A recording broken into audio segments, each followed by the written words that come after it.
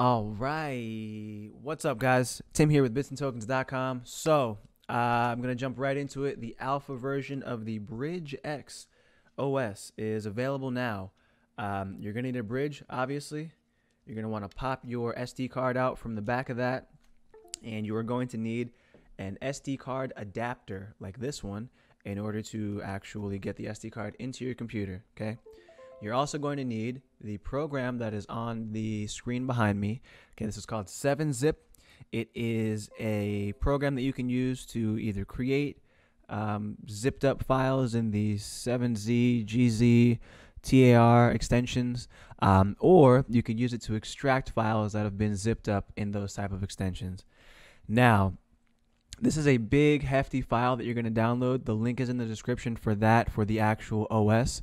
Um, but go ahead and uh, you'll download three things right now. You're going to download 7-Zip. You're also going to go to balena.io slash etcher and download etcher.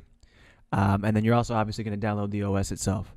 Now, I did take the liberty of uh, getting everything ready here.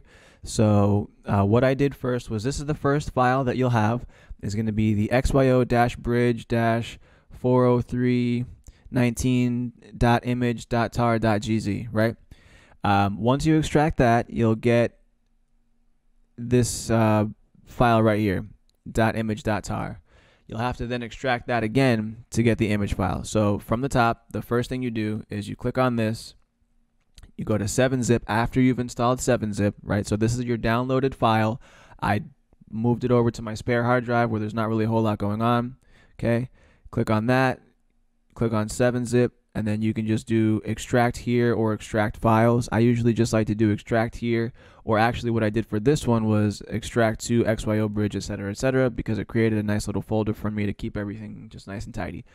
Really not a whole big difference in, in which way you want to go. So um, then once you have that tar file uh, which is what comes when you extract everything, you'll do that process one more time Okay, so you'll go to 7-zip, extract here, extract files, um, and that's going to give you this image file.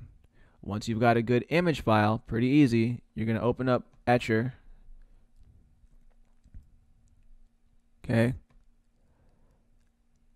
Going to open up Etcher. Once that opens up, it'll ask you for uh, a few things. It's going to ask you for the file itself, which is easy. So that's the image. We're going to go to select image. I'm going to go to where I've got it. I have it on my spare X drive and then boom. If it can see the file, that means it is an image file, right? It can see all the different folders, but it's not going to see anything that's not an actual image file. So in this instance here, I know we're good because this one says XYO bridge 040319 image. So I'm going to go ahead and open that. I am going to go ahead and select which SD card just to make sure. Um, so there's only one SD card in there right now, so that's the one that we're going to use and then I'm going to go right to Flash. I'm not going to erase anything. I'm not going to reformat anything. Etcher is going to take care of all that for us. I'm going to go ahead and say yes to this. It says here that it's starting. Okay, now I can see my computer's kind of wigging out because the SD card is being formatted, like I said, by Etcher. So it's starting everything for me.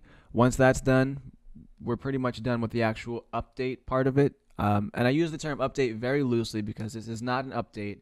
Um, it's really a reformatting. Um, you know, it, it's it's this is new. It's a new operating system. They were previously on Google's Internet of Things um, kind of base operating system. Now they're running on a more sophisticated distribution of Linux. Um, just some backstory on that. Raspbian is one of the preferred um, operating systems that you can get for your Raspberry Pi which is not the whole case. The Raspberry Pi is just the little board that's on the inside. Probably not going to open this now because it's not really that important. I have I've got pictures somewhere on the XYO group of me opening it up and opening up the Sentinels and all that. Anyways, um, so Raspbian is the uh, distribution of Linux that's running on the actual Pis now, or will be running on the actual uh, Raspberry Pi bridges with the Bridge X again update. Um, so we're gonna go ahead and do that. I'll be right back with you guys as soon as this is done. The flashing is probably gonna take about, you know, I would say maybe 20 minutes or so um, to to get that flashed on there. Extracting everything, seeing as how we had to extract twice, took me about I would say another 20 minutes altogether as well. Um, I did do that before the video started just to not have a lot of the boring stuff in the video.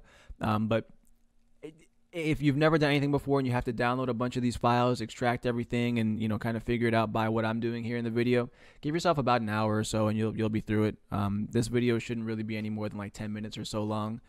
Um, so I'll be right back with you guys after I've got that, and then uh, maybe we'll look at reinstalling the SD card, which is again really easy, and then um, maybe take a look at how it actually looks on um, when you're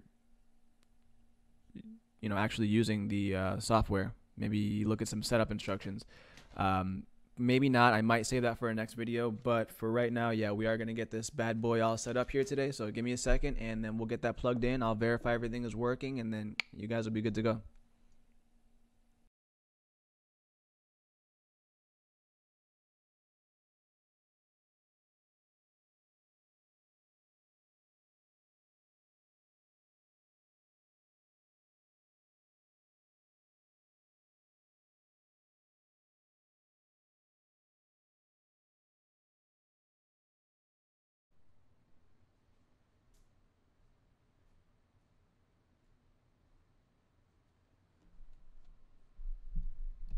This thing on? It's on. All right, so if you're like me, uh, you have no idea what the password is. Um, it's not disclosed anywhere. It is one two three four. Okay, you just type in one two three four. Okay, sorry that the uh, image is a little bit stretched.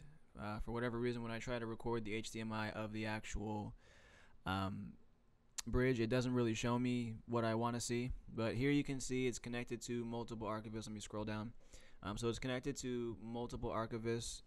And so um, the first thing that you'll have to do when you when you actually get everything set up is connect to Wi-Fi. And then right up here where it says bridge owner, you're actually going to want to change that for whatever reason. It, it uh, maybe when they copied the um, when they cloned the SD card from compiling this image. Maybe they had already signed in or whatever, but it, it comes with a different owner who is not you. So you'll go ahead and change that. When I changed it, for whatever reason, it's telling me um, that I don't own the bridge. I don't know why, but um, that's how you're going to do that. So, you know, we'll have more information as that, you know, comes up. I, I don't know if maybe there's a specific place where we need to go to register these these things. Um, that, that reminds me, Wi-Fi is actually going to be in the top corner. You can't see it um, you can see that I'm connected to our network here, but the Wi-Fi is going to be in the top corner. It's literally it's just, it's just a Wi-Fi symbol. You'll go ahead and click on that and just type in your password, and you're good to go.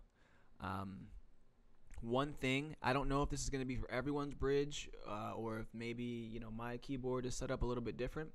Um, but just depending on your keyboard layout, I had an issue where my at button was my quotation button, and vice versa. So in order for me to type in tim at bitsandtokens.com, I had to hit the quote button instead of the um, at button. So just a little fun fact. I don't know if that's everybody, like I said, but that's how this is gonna work. Um, so that's the video, guys. That's how. I mean, you you followed along so far. You know, quick and easy. We're at about nine minutes now. You, you're you're done. You're good to go.